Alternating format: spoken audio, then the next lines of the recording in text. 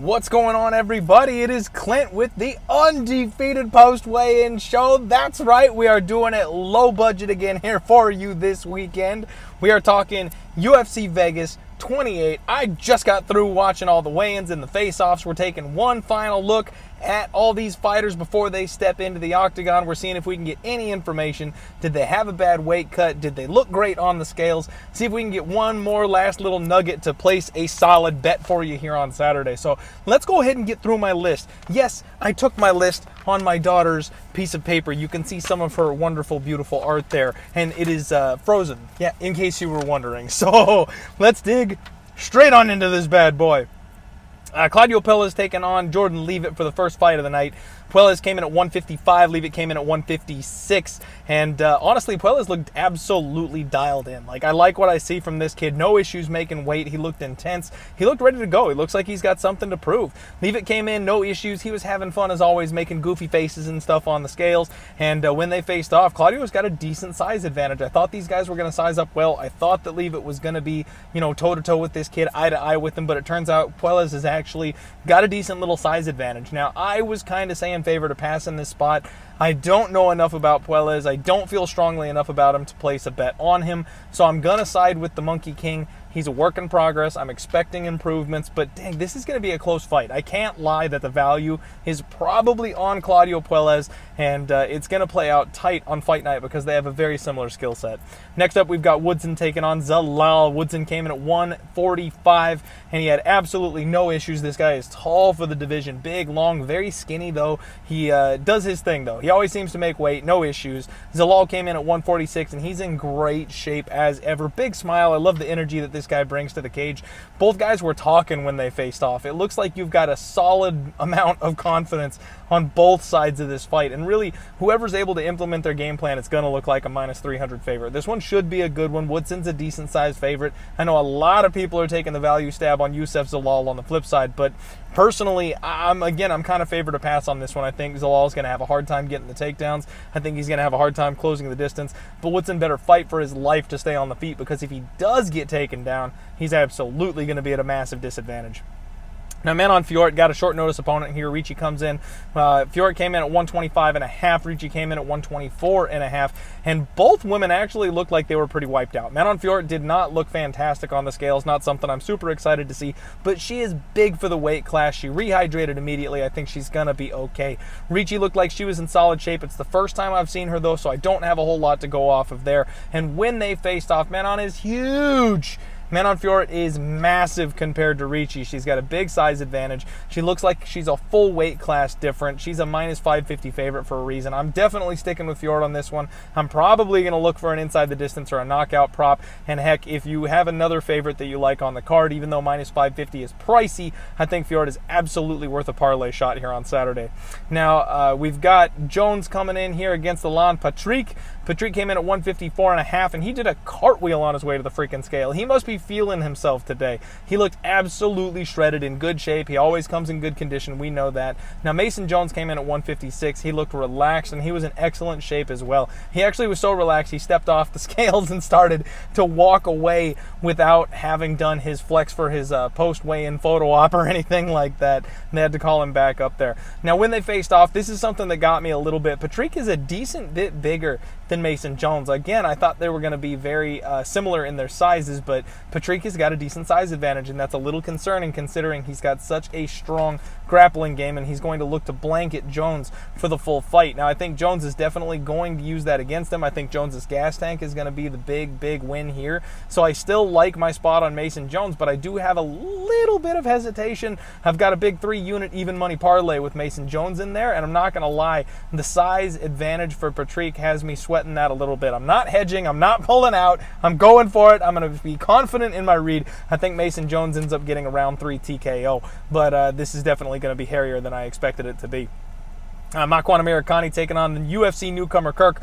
Makwan came in at 146 and he looked well muscled. He's been talking about Olympic lifting, changing up his strength and conditioning regimen. So that absolutely looks like it's paying off. He gave a good solid flex and his opponent Kirk came in at 146 and he looked fantastic. I told you all about Fight Ready. This kid comes out of Fight Ready and he looks physically incredible. He's ready to make his UFC debut and honestly, I've got high hopes for this kid. It was an intense face off, both guys looking to kind of punk the other one and and uh, really they sized up extremely well. So Makwan is kind of facing a new mirror of himself here, and I, am kind of in a dog or pass type of mode here. I don't think I'm gonna have a bet on this fight whatsoever, and even though Makwan's got the higher level of competition, I think that Kirk poses some problems for him, and unless Makwan can really impose himself in the grappling department, which I'm not sure he can with this kid coming out of fight ready, um, this is going to be an interesting fight, and Kirk may have the advantage on the feet. So maybe some value on the dog there. Next up, we've got Trinaldo taking Salikhov. Trinaldo moving up to 170 for the first time in his career. Came in at 169 and a half, and he is an absolute unit, folks. I cannot believe how this guy looks at 170. I mean, he was always big and well muscled at 155, but at 170, damn. So he comes in, he looks fantastic. Gives he's just a solid brick shit house full of muscle. Salikhov comes in at 171. He gave a good flex. He looked he, solid as well, and they sized up extremely well. When these guys got to each other on the face-off, Trinaldo doesn't look out of out of size here. He does not look like he's out of his own in the weight class. They sized up extremely well, and anybody taking that dog shot on Trinaldo, I gotta say, I, after seeing these guys face off, I can endorse it because we know Salikhov is low volume. We know he relies on the big power and the spinning attacks and being flashy. Trinaldo not having a size disadvantage, if he's able to do anything in the grappling department, if he's able to do anything in the volume department, he's absolutely in this fight. So I don't hate that dog shot whatsoever. Good luck if you are taking it. That's going to be a hell of a fight. Tanner Boser taking on Ilir Latifi. Boser came in at 242, which is interesting because it seems like he's putting on mass. He's always been a smaller, lighter heavyweight, a guy that moves around really well, and a guy that relies on his speed, but he came in 10 pounds heavier than we've seen him before carried all that weight extremely well. Does not look like he put it on badly. Does not look like he's carrying a bunch of flab extra on him. He looked good at 242. Latifi came in at 240, and this dude's a tank. He is short. He is broad. He is thick. Honestly, he looked really good. I like to, to knock Latifi. I'm not a huge fan of the guy, but I got to give props where it's due. He looked solid today. They uh, they sized up well, except that Boser has a much bigger height advantage than I expected. I mean, obviously you've got tall and slim versus short and squat, so you know Latifi's going to be the shorter guy, but he's broad as hell and just yoked. So Boser, being as big as he was, honestly, it was a bit of a surprise for me. I didn't think he was going to be quite that big. It was a respectful face off, but again, that's going to be a very interesting fight that probably comes down to the third round. So I know a lot of people taking the dog shot on the Latifi. I can't say I hate it, but again, I'm in a favorite or pass type of mode here. Please don't parlay Boser or anything like that. I think the extra weight should help him, but we haven't seen him on his back in so long. I can't trust the guy at a big favorite line. Montana De La Rosa taking on Ariane Lipski. De La Rosa came in at 126. Lipski came in at 124 and a half. De La Rosa did need the box of shame. We've seen that before. She has a hard time getting down to 125. She is a big girl, and she's been, uh, you know, filling out at that weight class. Honestly, she looked fine. She didn't look drained. She didn't look sucked out. She didn't look like she had a hard time. It was just a close weight cut. She made 126 after stripping down. She's good to go. Lipski was cold and confident. Let me tell you, she looks strong. She's she's been working on her strength and conditioning as well. And I'm not sure if she was just being ice cold and stoic up on the scale or if she had maybe a bit of a rough weight cut because you could see her cheeks were sucked out a decent bit and she was really focused on not moving. But she did look like she was carrying that usual confidence that she has in herself. When they faced off, all I could zone in on was the crazy eyes of Ariane Lipski. She was staring down Montana De La Rosa. Her eyes were popping out of her skull. It, she is ready to go. She's ready to hurt somebody. And again, that scares me just a little bit because Montana De La Rosa closes out my parlay. So I'm a little freaked out. I think Montana De La Rosa's wrestling is still going to be the edge. They sized up extremely well. These women are toe to toe, eye to eye. It's going to be excellent. Striker versus grappler. Let's see who can impose their will. And I'm firmly in the Montana De La Rosa corner here. Tom Breese taking on Antonio Arroyo. Both men came in at 186, and Breese was in good, solid shape. He's got abs for days at this point. He looks like he's ready to go. Gave a good flex. Antonio Arroyo came in at 186, and this dude is a brick shit house. He gave a huge flick, flex. He looked stoic and absolutely silent, deadly on the scales. And he did the arm raise. He did the victory arm raise, which was interesting to me. He talked in an interview about how he knows his back is against the wall. He can't take a three fight losing streak. He's seen people lose their contracts under that circumstance before, even though he's got more fights on the record. So his back is against the wall here in this fight. And I've been tempted to go ahead and take that shot on Arroyo because I feel like we're getting a massive plus number, and Breese is just a guy that you can't trust.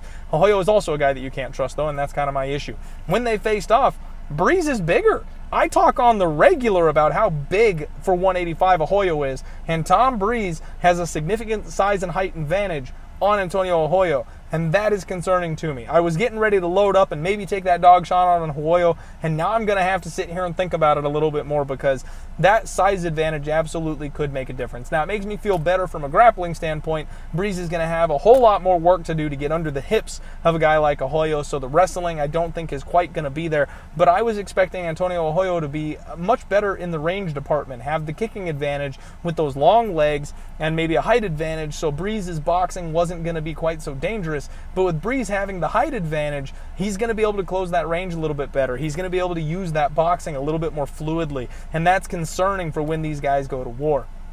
I do think Arroyo can make Breese quit. We've seen that before. So he can absolutely do that, but this could be like a 15 minute sparring match where neither guy wants to push it too super hard. And if that's the case, who the hell knows who's going to win that one? It should be interesting. Uh, Dusko Todorovic taking on Rodrigues. Both men came in at 186, and both guys looked solid. Dusko looked relaxed for a guy coming off a knockout loss. Uh, Rodrigues looked strong, and when they faced off, big size advantage for Rodrigues. I like to see that. Uh, this is another glass cannon match. I took a shot on the dog Rodrigues at plus 140. I think these guys are going to slug and throw down, and I think somebody's chin is going to give out on them. If this fight does stretch longer, if it does go to the ground, if it does get sloppy, I kind of like Rodrigues in that area. He's a world class BJJ player on the floor, so I think that's always in his back pocket and a nice thing for us to keep in mind. So we'll see what happens there. But taking the risk, got the bigger guy. He looks yoked up. I know a lot of people are saying Buff Obama's fighting on Saturday, so that's uh, that'll be fun. I can't wait to see how that one turns out. Ponzinibbio taking on Miguel Baeza. Ponzinibbio came in at 170 and a half, and he was in excellent shape. And I gotta say, he was in really good spirits. Like he came out and he was smiling the whole time. He gave a big smile, a big flex. Again, does not look like an aging fighter coming off of a knockout loss. You got to be a little concerned about that because he's got that quiet confidence in himself there. Miguel Baeza came in at 171, and the kid is shredded. You can tell he worked hard for this particular fight. He's absolutely jacked, and he gave a bunch of extra flexes. Like he got up on stage and he was feeling himself. He gave a bunch of different poses like a bodybuilder. When they faced off, both guys absolutely confident. Height and reach goes to Miguel Baeza, the younger fighter. I'm still looking at Miguel. That's kind of the way that I want to play it, but I also think this fight has a very good shot of not going the distance. Both these guys have had durability issues. Both these guys hit like absolute tanks, and I think the under is a solid spot. That may be the better play. Since I haven't gone on Miguel Baeza, it might just be a better shot to go ahead and take the under instead of picking a side on this one. Roman Dolidze taking on Staropoli. This is one I've had my eyes on. Roman came in at 186, and he looked dialed in, folks. He looked absolutely focused. We've talked about him dropping from 205 to 185, and he looks fantastic at 185. Looks strong, no issues making weight, and this was something I kind of expected him to struggle his second time around. I thought maybe we would see those issues pop up, but they did not. Staropoli came in at 185, and he looks thicker than he normally does. Obviously, he usually fights at 170. He's a bit soft, you know. Like I said, he usually fights at 170, so we're used to him being a little more muscled, a little more shredded down a weight class. But he looked pumped up. He's excited. He's ready to go. He's motivated. And then when they faced off, it is a huge, huge size advantage for Roman Dolidze.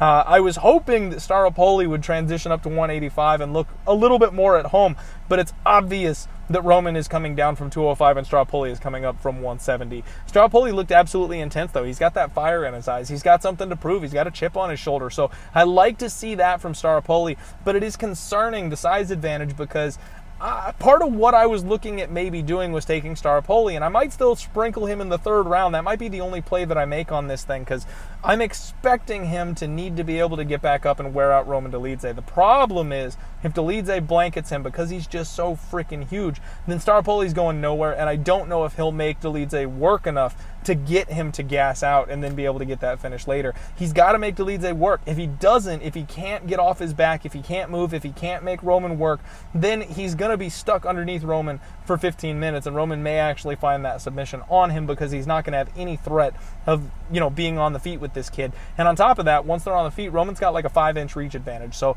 Staropoli's really going to have to get in close, close the distance, make him work, and that'll give another grappling opportunity for Roman. So after seeing the massive size discrepancy, the more I'm kind of getting off Staropoli. I thought maybe he was a live dog here, and I'm kind of rethinking that here at this point.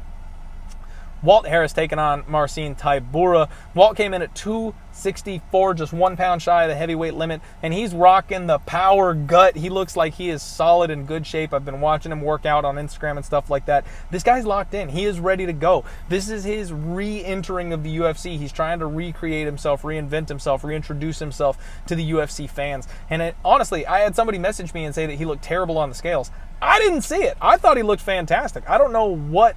Uh, okay, full di- full disclosure, I did watch the weigh-ins on my phone as opposed to my usual, you know, laptop with my nice computer screen and you know big screen stuff like that. So maybe I missed something, but I didn't see Walt look bad on the scales whatsoever. So I'm not sure what that's about. Marcin Tybura came in at 251. He's usually a bit of a smaller, lighter type of heavyweight, relies on the movement, that kind of thing. I do think that extra, you know, 13, 14 pounds is absolutely going to favor Walt, and he hits like a truck. So hopefully he puts that to use. Tybura did look good though. I will fully admit that. You guys know I'm not a Tybura guy. You know I like to fade Tybura, and he did look good at the scales. I will give him props where it's due. They're the exact same height. When they faced off, they matched up extremely well, except that Walt is a much, much thicker man. You can tell he is just built differently, and I expect him to have a strength advantage. Again, it all just comes down to the cardio. Whether or not Walt can keep this thing going for 15 minutes, whether or not he can defend the takedowns, and whether or not he can finish Tybura potentially early. It was a good face off. Both guys are intense. Both guys are motivated and ready to go. That's a higher stakes fight than I think a lot of us are talking about. I can't wait for the co-main event. Go Walt Harris, baby. Let's cash that ticket. Jairzinho Rozenstruik taking on Augusto Sakai in the main event. Rozenstruik came in at 254. He gave a good flex. He looks solid. He always does. He always looks in good shape. Another stoic fighter just ready to go to war. Augusto Sakai came in at 255 and a half, and he is flabby. But let me tell you something. We talked about this with Jared Vanderaa a couple weeks ago. Sakai is transforming. Sakai started off as this big, flabby heavyweight that's carrying a lot of muscle mass around, a whole lot of gut flab and stuff like that. He is slowly turning into a UFC heavyweight. When he flexes, when he puts his arms up, you can see the abs, you can see the muscle definition. The flab is slowly starting to disappear. And I talked about how I felt like Sakai had maybe peaked as a UFC fighter on Monday. I may be mistaken. He looks like he's putting the work in, he's putting the effort in, and his body is reaping the rewards. He is absolutely transforming himself, and we might see better versions of Augusto Sakai over the next couple of fights. I do have Jairzinho Rozenstruik. I do think Jairzinho has a shot to find that chin and maybe just win this thing off significant strikes if he can land hard enough when Sakai engages. But uh, I'm not at all comfortable on that one. I don't think this is a slam dunk fight for either side. I know a lot of people are on the dog Sakai. I totally understand it. He's got a decent size advantage here in this spot, and he's got an absolute brick for a head. So it's going to be hard for even a guy like Rozenstruik to knock this guy out because his head is so damn huge. This was an intense face off. Neither guy wanted to back down. This is going to be a great fight. I can't wait for this main event. I don't think it's going to be as slow paced as some of the previous ones have been for Rozenstruik, but I do think that uh, it's going to end violently at some point. One of these guys is going to get caught, either a big clinch knee from Augusto Sakai or one of those bombs for Rozenstruik. I think it'll probably end in the third or fourth round. Can't wait for this fight, everybody. There's your undefeated post weigh in show. And honestly, I don't have any ads that I really want to make at this point. It's more of getting me off of stuff. And you know, when it comes to sports betting, a penny saved is a penny earned. So we really can't call that not worth it for the show. Staropoli is a guy I wanted to take a shot on, but he looks a little undersized. Maybe I sprinkle that round three prop and hope he gets it done, but I'm not really expecting much beyond that. Maybe you take the submission prop for Roman Dolidze here instead. That might be a better way of looking because he should just be able to physically overpower Staropoli. Uh, I think uh, Ponzinibbio and Miguel Baeza, again, maybe just play that under instead. I think they're going to go to war with the durability issues. We got a bit of a problem there.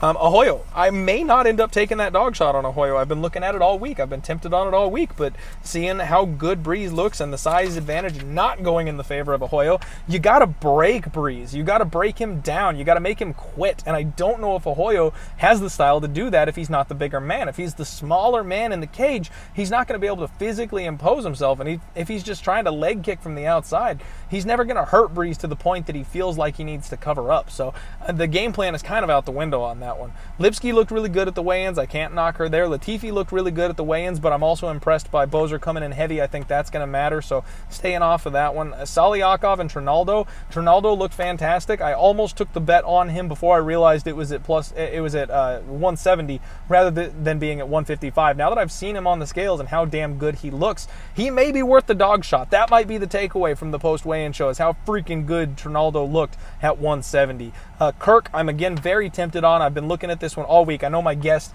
uh, Lucrative MMA, came on the show and he was talking about how Makwan Amirkhani is a very safe bet this week. And honestly, I'm leaning dog here. I might go with my fight ready boys. Dogs are barking this weekend, folks. Dogs are all over this card. A lot of these lines are wide. A lot of these dogs are going to be in these fights and have opportunities. Um, Alan Patrick looked big and looked good. Fiorot and Ricci, the size advantage for I know it's not anything groundbreaking to say the minus 550 favorite is going to win the fight, but that's kind of how I'm feeling here. I mean, the way she's got that size advantage, I think she's gonna just tear through this kid. I don't. I, I think Ricci's got a good skill set, but she might be in the wrong weight class, and I think she's making her UFC debut on short notice against a bad, bad matchup for her. So lots of opportunities here on this card. There's going to be a lot of us taking big swings, and fortunes will be won and lost on Saturday. UFC Vegas 28.